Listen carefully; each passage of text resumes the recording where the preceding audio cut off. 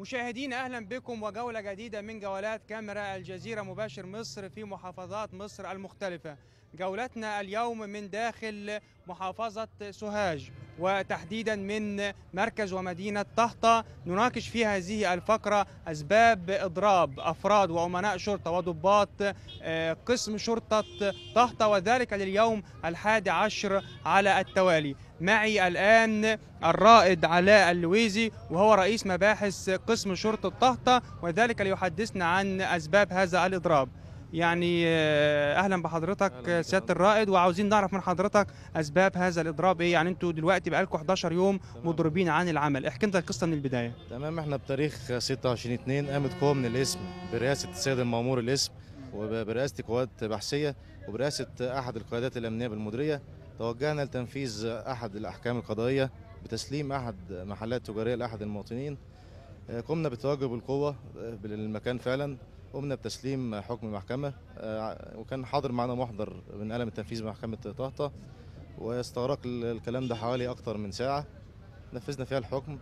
في أثناء ذلك اتصل باحد السادة الضباط في الاسم أبلغني بقيام آه، المدعو ناصر كيلاني وبعض أقاربه وبعض البلطجية. قاموا بحماله التجمهر أمام اسم الشرطة ومحاولة اقتحامه وقاموا بسرقة الحواجز والصدادات المتواجده أمام الاسم. وقاموا بقطع الطريق من الجانبين آه، مع إطلاق للاعيار النارية. فقمت بال- بالعودة السيد المأمور والقو- والقياده الأمنية من المديرية بالقوات. وبالفعل تمكنا من إحباط محاولة اقتحام للإسم وتمكنا من السيطرة الأمنية على المكان. آه، ثم بعد ذلك حضرت لنا القيادات الأمنية بعد ال- ال- الواقعه بحوالي أكثر من ثلاث أربع ساعات. حضر السيد اللواء آه، مساعد الوزير مدير الأمن. حضر السيد اللواء مفتش الأمن العام. السيد مدير إدارة البحث الجنائي. في لحظه دخوله في الاسم الشرطة يعني دون مراعاة لشعور السادة الضباط أو الأفراد بالاسم تلفظ بلفظ خارج وصفنا به آه، دون مراعاة دون مراعاة لشعورنا أو شعور الأفراد في الواقعه اللي إحنا كنا فيها ديت. ثم قام سيادته بالتوجه صحبه السيد العميد مدير إدارة البحث الجنائي بالتوجه إلى منازل المتهمين بقرية نجع حمودة والجلوس معهم لترضية خاطرهم والتفاوض معهم. وعند علمنا بال- بالكلام ده قام احد قام أحد المواطنين باختارنا به اخترنا السيد مدير الامن الذي كان متواجد بالاسم قام السيد اللواء مفتش الامن العام والسيد العميد مدير اداره البحث الجنائي بالانصراف من منازل المتهمين ثم قبل الانصراف بعده. ثم ثم بعد ذلك حضر أحد القيادات الأمنية آه، السيد رئيس فرع البحث الجنائي السيد العميد آه، رئيس المباحث الجنائية السيد اللواء الحكمدار نائب السيد المدير ولقيامنا بمأمورية يعني طلبنا منه الأفراد السيد الضباط والأفراد طلبوا بالقيام بالمأمورية لضبط المتهمين دي كنا عملنا محضر بالواقع حررنا محضر الواقع وعرضناه على السيد ال- المستشار المحامي العام بنيابات شمال سوهاج وسيادته أمر بضبط وأحضار المتهمين والأسلحة المستخدمة في الواقعة. آه، جه السيد رئيس فرع البحث الشمال قعد مع قعد مع الضباط والأفراد وضلنا قال لنا في معلومات عنده بنسبة 100% إن ال- المتهمين ديت استاجروا البلطجية واستاجروا عناصر إجرامية من مراكز المجاورة وانهم فوق أسطح المنازل وفوق المدارس وعند مهاجمتنا ليهم. تمام حضرتك. يعني بعد ذلك يعني بعد ذلك آه، وقال الكلام ده للسيد اللي هو مساعد وزير مدير الأمن وأنا بستشهد بسيادته. لو هيعمل مداخلة على الهوا الكلام ده كان قدام سيادته. وده على غير الحقيقة. لما نزلنا المأمورية وسيادته أصر السيد اللي هو مساعد وزير مدير الأمن أصر على نزول المأمورية. السيد رئيس الفرع والسيد رئيس مباحث المديرية والسيد الحكمدار نائب المدير طلعونا بأربع عربيات شرطة. أربع عربيات شرطة رغم إن اللي هو قالوا من إن في عناصر إجرامية وفي بلطجية في أسلحة متعددة وفي جرينوف. طلعنا بأربع عربيات شرطة وما كانش عايز يطلع معانا مدرعة. يعني آه، يعني سياده الرائد الذي تم يعني أخيرا يعني آه، بعد ما ما طلعتوا ورحتوا للمكان يعني آه، اللي تم بعد كده إيه؟ المفروض في مداهمة أي وقر مجرمين أو حاملي أسلحة ناريه اللي في طريقه في طريقة مداهمة معينة لقوات الأمن المركزي. لكن اللي حصل عكس كده خالص لما وصلنا هناك. القيادة الأمنية اللي كانت موجودة معانا الحكمدار والسيد رئيس مباحث المديرية والسيد رئيس فرع البحث الجنائي. منع أي فرد أو أي حد من قوات الأمن المركزي أو من السادة الضباط من النزول تماما. اقتصرت المأمورية على شخصهم الثلاثة فقط. قاموا بالدخول لمنازل ال- المتهمين وغادروها في خلال ثلاث ثلاث دقائق. وأمرنا بالانصراف وقالوا لنا إن مفيش حد موجود. وإحنا واقفين بره حضرتك دخل طلع أحد المواطنين من من اقارب المتهمين. نادى على السيد رئيس فرع البحث الجنائي قال له إحنا ما اتفقناش على كده مش ده الميعاد اللي إحنا اتفقنا عليه. يعني شايف حضرتك يعني ال- السبب اللي أنتوا السبب الإضراب اللي أنتوا شايفين إن يعني لم يتم القبض على هؤلاء المتهمين وإن القيادات الأمنية لم تقوم بالرد أو برد اعتبار آه، للضباط أو افراد الشرطة ولا يعني دي واقعة من ضمن وقائع كانت بتحصل؟ يعني قول لي من ضمن وقائع حضرتك. في وقائع قبل كده في عندنا في اسم طهطا تحديدا في وقائع في مركز طهطا مجاور لينا في وقائع في مركز طمة في في اسم أول سوهاج. وما إحنا وقفنا الوقفة ديت وطالبنا باقاله القيادات ديت عشان ضعفها وتخاذلها ووضع هيبتنا هيبه الشرطة في المحافظة. قام اسم أول سوهاج قلدنا لأن كان ليه وقعة قبلينا بأسبوع في نف- نفس الواقعه ولكن دايما إحنا في وزارة الداخليه ضباط وأفراد دايما دايما عندنا تحفظ أو خوف من مواجهة القيادات. رغم اللي إحنا شفناه في سنتين ونص اللي فاتوا دول في مصر رغم اللي مر بينا في سنتين ونص اللي فاتوا. لسه ما زال برضه بعض الضباط وبعض الأفراد وكثير منهم عندهم تحفظ وخوف من مواجهة القيادات. طب يعني هل تم القبض على هؤلاء المتهمين أم لم يتم القبض عليهم حتى الآن؟ حصل من من بعض القيادات الامنيه اتصلت بينا هاتفيا وبدأت تفاوضنا. لو جبنا الناس ديت وسلمناها للنيابة آه، هت- هت- هتنازلوا عن مطالبكم الباقي باقاله بعض القيادات. فإحنا رفضنا الكلام ده كظباط وأفراد. اتصل بيا أحد القيادات الأمنية وتحديدا السيد رئيس فرع البحث الجنائي. قال لي إحنا لو جبنا الناس دي وديناها النيابة وتخلى سبيلها إحنا لينا في الكلام ده. فانا قلت له سيادتك إحنا القضاء ده قضاء إحنا مالناش فيه. ده ده قضاء. بس دي واقعة ما فيهاش إخلاء سبيل أو كفالة. والكلام ده كان قبل ما يجيبوهم يقدموهم لل- للنيابة بحوالي ثلاث أيام.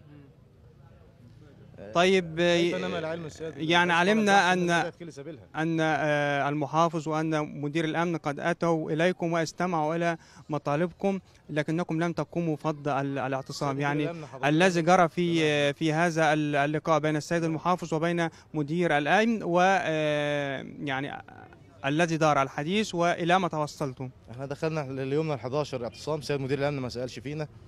وده دليل على ضعفه وتخاذله مع باقي القيادات في المديرية. بس هو جه لحد عندكم هنا واستمع للمطالب بتاعتكم. استمع المطالب وما اتخذش أي قرار لحد دلوقتي حضرتك. مفيش أي رد فعل. مفيش أي رد فعل. حضرتك. طيب يعني أن- أنتقل لأحد آه، أمناء الشرطة ال- المضربين عن العمل. طيب يعني دلوقتي حضرتك قلت إن كان في يعني أكتر من وقائع واللي أنتوا السبب الرئيسي آه، اللي أنتوا شايفين إن حقكم يعني ما رجعش بعد ما ال- المتهمين جم لحد الاسم وضربوا نار عليكم وما تمش القبض على أحد منهم. لا هو جول حد الاسم تعدوا علينا بالسب والشتم. وقاموا بأطلاق عايرة نارية. بالتنسيق مع القيادات اللي هي لها علاقة بيهم إن هم يسلموا نفسهم ودي كده وكلموا المحامي العام وقالوا له ده في مشكله هتحصل مشكلة أمنية لو الناس دي خدت استمرارات أو اتحبست أو أو طلعوا بكفالات. السيد مدير الأمن لما جالنا هنا يا ريس. يعني في دليل على هذا الكلام؟ آه موجود يا باشا. كل ده كل كل الكلام اللي بنقول لك عليه بنقول لك عليه ده موجود ليه؟ عليه دليل مسجل ومصور. في أدلة مسجلة مسجل. إزاي ومصور؟ مسجل عن طريق كلامهم. لما يجوا يعملوا لقاء هنا إحنا مسجلين للسيد المدير وهو بيقول أنا ما كنتش أعرف إن القيادات دي غلطانة وعاملة الكلام ده كله غير منكم هنا. قال القيادات دي غلطانة وفعلا القيادات دي غلطانة لازم تتحاسب. ده السيد ومسجلين له الحوار ده معانا. السيد وفي واحد من أعضاء مجلس الشورى جانا امبارح وقال لنا أنا مشترك في المسلسل المسلسل اللي اتعمل عليكم بالحملة اللي قامت. وحكلنا على كل اللي حصل بالنص إحنا يا ريس ما بن مش معتصمين. مسألة شخصية بيننا وبين حد. إحنا بنقول القيادي الغير قادر على قيادة على المنصب بتاعه. في القيادة يمشي. إحنا عاوزين نرجع الأمن تاني للشارع. إحنا عاوزين نرجع الأمن تاني للمواطن. إحنا عاوزين نشتغل. مش هي دي المشكلة السبب في الاعتصام؟ لا. دي ال- القشاية اللي قطمت ظهر البعير. كذا مشكلة. كذا يعني عندنا كذا ضابط. لو هتسمع حضرتك كلامهم يعني واقع ضرب نار وتم تحريز سلاح وذخيرة. وأحد القيادات ومدير البحث الجنائي أكبر الضابط ان هو غير تحريراته ما غيرهاش. خلى الناس اشتكته واشتكته في النيابة واتهمته ومتبهدل الضابط لحد دلوقتي. طب يعني يعني مصلحة هذه القيادات في هذا يعني ليه القيادات ممكن تكون بتعمل كده؟ مع إن ده أكيد هيكون بيدينهم بشكل أساسي وممكن بعد كده يقصيهم من مناصبهم لو يعني لو وزير الداخلية أو مدير الأمن. يعني أخذ خبر بهذا الكلام. يعني شايف مش مش إن ده نوع من المبالغة مثلا؟ هو مدير الأمن خد خبر وطلع على القنوات الفضائية وكذب وقال ما فيش اعتصام عندي ودي قلة وقال كلام مش مظبوط. حضرتك أديك شفت الاعتصام وشفت. أما مصلحتهم فدي مصالح شخصية ليهم ومش يعني ناس بينه واحد بينه وبين واحد من عناصر الاجرام وأنا وريت حضرتك إن العنصر ده مسجل عندي. واحد بينه وبين عنصر من عناصر الإجرام موده ومحبة. يبقى إيه المقابل؟ يبقى إيه المقابل؟ بعد ثورة 25 يناير لا توجد كلمة مستحيل. إقالة حسن مبارك كالرئيس والفساد خلاه حبيس. ولما طلبنا بالتطهير ردوا علينا مستحيل. ليس مستحيلا بعد ثورة 25 يناير والشباب الذين قاموا بالتضحية بأرواحهم ودمائهم في سبيل تحرير هذا الوطن نحن ننضم إليهم رجال الأمن ونقول لهم نحن معكم ونشترك الآن في الثورة لتطهير وزارتنا من جميع الرموز الفاسدة كي يشعر المواطن المصري بالأمن والأمان مرة أخرى. طيب طيب يعني التطهير التطهير التغيير التغيير التغيير التطهير التطهير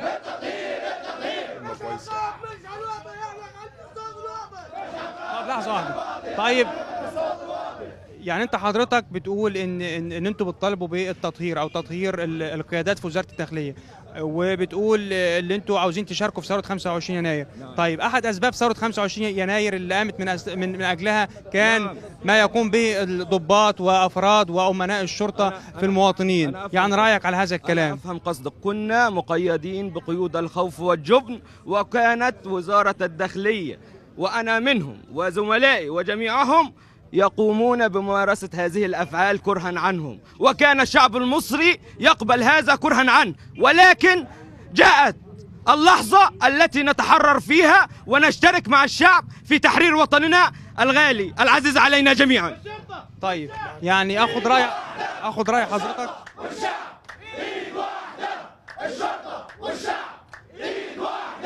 يعني الاعتصام بتاعكم الاعتصام بتاعكم النهارده ال- اليوم ال 11 ليه. طيب مش مش شايف إن ده في تعطيل لمصالح المواطنين وإن المواطنين في مدينة طهطا ما لهمش ذنب في ال ال الاعتصام ده أو الإضراب عن العمل خصوصا إن يعني كتير جدا من الأهالي وإحنا جايين قال إن هم دول بس يعني آه، 15 واحد أو 20 واحد موقفين حال كل البلد. ده كان رأي أحد الأهالي وإحنا جايين. مش شايف إن ده في نوع من تعطيل مصالح المواطنين وإن خصوصا إن الاسم مقفول أو ما فيش حد بيخرج منه أو بيطلع ولا في مواطن يقدر يقدم شكوى أو يعمل محضر؟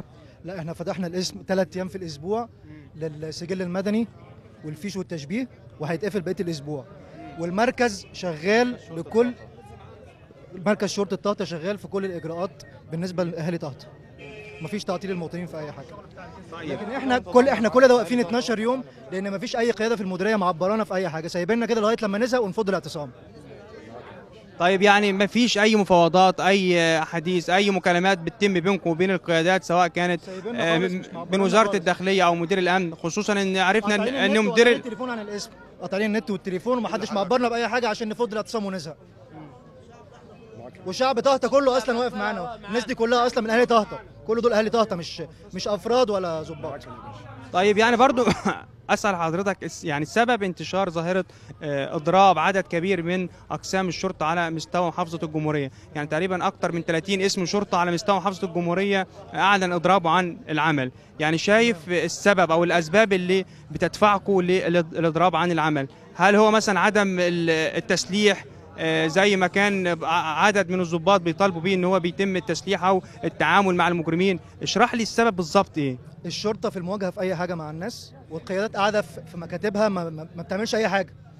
الظباط والأفراد هي اللي في المواجهة ومفيش أي رد فعل منهم خالص. إحنا اللي في الوش في كل حاجة. في الشر وفي الخير وفي أي حاجة إحنا اللي في الوش. كله زي من الفساد والاستبداد. كله زي من الفساد والاستبداد في جميع مراكز وأقسام الجمهورية. كل الضباط وأفراد على مستوى وزارة الداخلية كله زي من الفساد والاستبداد ولحد إمتى هنفضل نسكت؟ وأنا بطالب زملائي في باقي مديريات الأمن من ضباط وأفراد إن هم ي- ي- لحد إمتى يفضلوا يسكتوا؟ ال- الساكت عن الحق شيطان أخرس. أنا بقولها للساده الضباط اللي في باقي المديريات والأفراد وكل ضباط الوزارة الساكت عن الحق شيطان أخرس. لحد إمتى يفضلوا يسكتوا؟ طيب يعني متى تنوون فض هذا الاعتصام؟ بعد إذنك تمت في دايرة طحطا كيف يتم التحقيق فيها في سوهاج ويوجه قرار النيابة إلى مأمور اسمه تحته ويتم إخلاء سبيلهم وتحصيل الكفالات في اسم في اسم تحت أو في مركز البحث في سوهاج.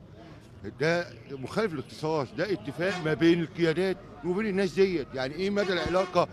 إن واقعه تمت في مكان زي دوت يتم التحقيق فيها رغم إن قرار النيابة موجه لمأمور اسمه تحته إن تم الكفالات تحصيل الكفالات وبعد ما حصلوها هناك جابوا لنا الكفالات على هنا. إيه ده؟ يعني ده تسميه إيه؟ عدم اختصاص. أنا مش فاهم يعني. طيب يعني برضه في عدد كبير من المواطنين بيقولوا اللي إحنا في الآونة الأخيرة بنروح لأقسام الشرطة عشان نعمل بلاغات ومحاضر ويكون الرد إن هم بيرفضوا. يعني أكتر من واحد قال لي مثلا أنا بتكلم بشكل عام أنا بتكلم بشكل عام يعني أنا بتكلم بشكل عام وليس على قسم شرطة طحطة تحديدا أنا بتكلم بشكل عام إن هم في الأونة الأخيرة لما بيروحوا يعملوا محضر أو يعملوا آه، يسجلوا أي حالة وقع سرقة بيكون يعني رد الفعل من جانب الضباط أو من جانب ال- المسؤولين في الاسم إن هو رد فعل سلبي وبيقولوا استحملوا مش أنتوا عملتوا ثورة استحملوا اللي بيحصل لكم. الحالة ديت الحاله هي واحدة هي واحدة هي واحدة هي واحدة سعادتك في الحالة دي تحاسبني أنا شخصيا كفي جهة معينة. هات لي حد من المواطنين جه حب يهاجم المحرر هل المباحث هل النبطشيه هل أي ضابط أي فرد ما قامش بدوره؟ في الوقت ده أنا اتحاسب لكن أنت ما تحاسبنيش على غلطة ضابط أو أمين أو فرد أو في مكان آخر. حاسبني أنا في جهة معينة يعني هات لي مواطن دلوقتي من أهالي تحته جه قال الكلام اللي سعادتك بتقوله دوت. هل الاسم دوت ما بيعملش أي إجراء ضد أي مواطن أو ضد أي مواطن بيتم اتخاذه بالإجراءات القانونية؟ دي في الحالة ديت أنا تمام؟ إنما في سلبيات في كل جهة في أي مؤسسة في أي هيئة في أي حتة في أي لكن اسم تحت ده معروف. حتى إحنا هنا في الاعتصام كان معظم اللي واقف معانا الشعب وأهالي تحته لأن عارفين مدى إمكانية خدماتنا ليهم. تمام؟ يعني هم كمان عايز أقول لك يمكن هم اللي شجعونا على الاعتصام عشان عارفين الحياة ماشية إزاي ومدى خدماتنا ليهم. تمام؟ كلمتين يا أستاذ كريم أنا أحب أوضح لك دقيقة واحدة دقيقة واحدة. أحب أوضح لحضرتك من يوم ما قامت ثورة 25 يناير وإحنا لم نتوقف على العمل نهائيا لأن إحنا ما عندناش لا ميدان تحرير ولا عندنا قصر اتحادية والناس أساسا كلها شعب واحد وأهل واحد. إحنا جايين بخدمة المواطنين على أكمل وجه في تحرير المحاضر وفي استدعاء المتهمين ولكن التخاذل الأمني من القيادات الكبيرة اللي هي بتقودنا. الناس دي ليها هدف معين الهدف إهدى. إهدى ليه؟ البلد تقع امنيا هوبا نقلب اللي فوق تحت لأن لما تدور على الناس دي الناس دي شغالة في سوهاج هنا ليها 15 سنة واللي ليها 20 سنة وفيهم ناس من ساعة ما كانت ملازمين وهي موجودة في سوهاج. وعلى علاقة بالنظام السابق حتى الآن وفي تداولات بينهم. ولذلك الناس اللي إحنا معاهم دليلك على هذا الكلام عشان بس الكلام ده خطير جدا. يعني هل تملك أي أدلة أو وقائع معينة بهذا الكلام؟ دليلي على هذا الكلام اللي معانا إحنا مشكلة معاهم دول أعوان نظام سابق ودول معروفين لكل أهالي طحطة. إزاي أنت عرفت الناس دي وقعدت معاها في بيتها واتفاوضت معاها وقلت لهم اقعدوا بعيد في البيوت التانية لغاية ما نجيبوا العساكر والظباط بتاعتنا نهديهم؟ اسمينا طلعنا مأمورية وهم يمشوا وانتوا ارجعوا بيوتكم. وعندنا ألف دليل على إن المتهمين لما إحنا طلعنا عشان نداهم المأمورية زي ما قال السيد الرائد علاء اللويزي رئيس المباحث لما طلعنا عشان نداهم المأمورية هم كانوا عارفين مكان تواجدهم فين. والناس دي كانت شايفانا. يعني عرضونا للخطر. يعني إحنا ممكن انت مين اللي قال لك يا سيادة القيادي الكبير إن الناس دي هتوفوا بوعودها معاك؟ ما ممكن في لحظة يخونك ويضرب رجالتك لأن إحنا ما شايفينوش انت خدتنا وسحبتنا من الجسم وديتنا الناس قلت لهم أنا هجيبهم هضحك عليهم. بالعربي كده هضحك عليهم لغاية ما يهدوا وكلمتين وبالسلامه بالإضافة الكلام اللي أنت ذكرته سيادتك هم اللي بيحاربوا المدنيين. المدنيين شعب ضحطه واقف حوالينا أهو. ناس ضحطه معانا كلها أهي. بيحرضوا المدنيين. ويقولوا لهم قوموا عليهم عشان يفكوا الاعتصام. نؤكد وما زلنا نؤكد. كما سبق وأن ذكرت ان ثورة 25 يناير بدأت من ميدان التحرير. وأن ثورة تطهير الداخلية ستكون بدايتها من أمام قسم شرطة طحطة. ولن نسكت على التخاذل مره أخرى شكرا ليك. حضرتك عاوز تقول حاجة؟ أنا بطلب بإقالة السيد مدير الأمن والسيد الحكمدار والسيد مدير المباحث والسيد رئيس مباحث ومفتش الأمن العام. أنا بطلب اقاله الخمسة دول. طيب برضو ك- يعني برضه في رأي.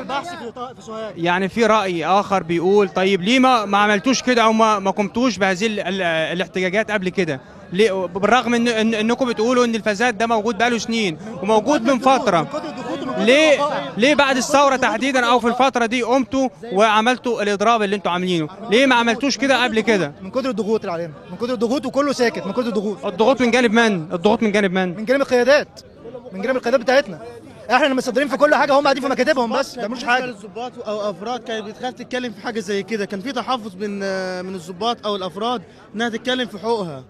الثورة أول ما قامت بقى كله بقى شالت حافز الخوف من نفوس الضباط والأفراد فكله بيتكلم بيطالب بحقه. لكن قبل كده ما كانش أستاذ كريم بالنسبة لجسم طحطة كان عندنا أربع حالات غياب معمول له محاضر غياب فتيات. علاء بيه وأفراد مباحث جسم طحطه وأفراد الجسم جميعا ما سكتوش غير لما جابوا الأربع حالات وحددنا مكانهم فين لأهليتهم وتم اعادتهم لمنازلهم جبنا أكبر قضايا سلاح في جسم شرطة طحطه بفضل ضباط المباحث أكبر قضايا فلوس مضروبة أكبر قضايا برشام دخلت جسم طحطه في أيام الثورة. كنا مانعين الجريمة سيطرنا على البلد.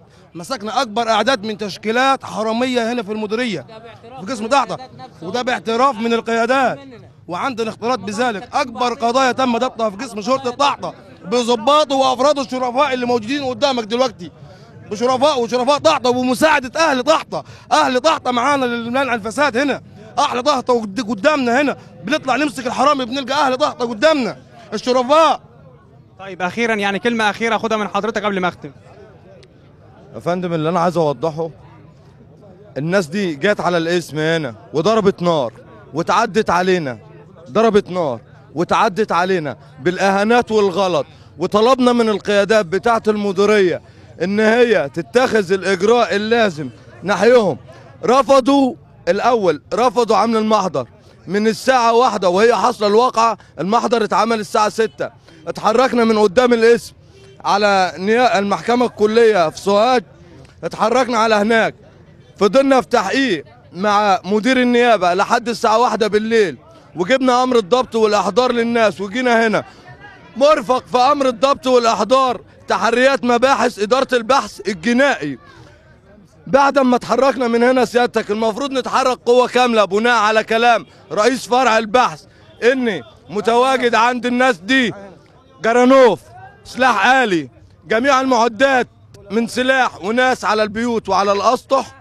ومتواجدة. هتتعامل معانا بالفعل. إحنا أصرينا ان إحنا ناخد حقنا ولازم نروح للناس دي ونجيبها من مكانها. لازم نروح ونجيبها من مكانها. السيد مدير المباحث والسيد طيب إدارة خليني خليني خليني أسأل حضرتك سؤال. يعني هل لو تم القبض على هؤلاء ال- المتهمين هل ستقومون بفض هذا الاعتصام؟ أم أنكم تطالبون بمطالب أكبر من ذلك؟ بعد إذنك يا باشا. بعد إذنك. لا. إحنا إحنا مش بنطالب. إحنا مش تم بالفعل تم بالفعل. القبض على مش القبض على المتهمين. تم التنسيق من قبل القيادات اللي على علاقة بينهم وبين, القيادات دي بتسليمه في جسم أنا عاوز أضيف حاجة بعد اذن حضرتك وحاجة مهمة جدا. من ضمن برضو الجبروت بتاعت القيادات دي ناس ليها 15 سنة و12 سنة في صاج. ما مشيتش. إحنا تقدمنا ببلاغ رسمي لمدير نيابه طحطه تقدمنا ببلاغ رسمي لمدير نيابه طحطه بواقعة السب والشتم وواقعه التواطؤ من القيادات في المحضر سبع أحوال. ومدير النيابة رفض استلام المحضر وقال لك ده مش اختصاصي. وقال لي ده مش اختصاص. إزاي واقعة تمت في دايرة البندر وتقول لي مش اختصاصي أنا بقول آه، آه، لما جه مدير الأمن بقول له يا ريس 74 حالة خطف. 74 حالة خطف في طحطه والأربع حالات اللي حصلوا في البندر اتحقق معاهم بمعرفة السيد رائد علاء اللويزي ورئيس مباحث الإسم وجبناهم. أنت فين يا ريس خلي الناس دي حتى على الأقل سيبنا نشتغل. ما يتدخلوش في شغلنا. لما يجي يمسك السيد النقيب محمد متجلي ويقول له انت إزاي تجيب الناس المحترمة دي ناس ضربت نار على أطفال في ابتدائي ويقول له إزاي تجيب الناس دي المحترمة وتحطها عندك ويخلوهم يشتكي في النيابة. يبقى دول سعادتك عناصر تصلح للقيادة ولا ما تصلحش.